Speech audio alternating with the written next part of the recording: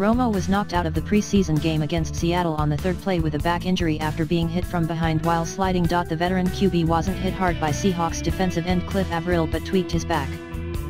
He walked off under his own power and was stretching on the sideline as backup QB Dak Prescott took the field. Romo said he had tightness in his back but felt fine, according to sideline reporter Keith Russell, and lobbied coach Jason Garrett to return to the game.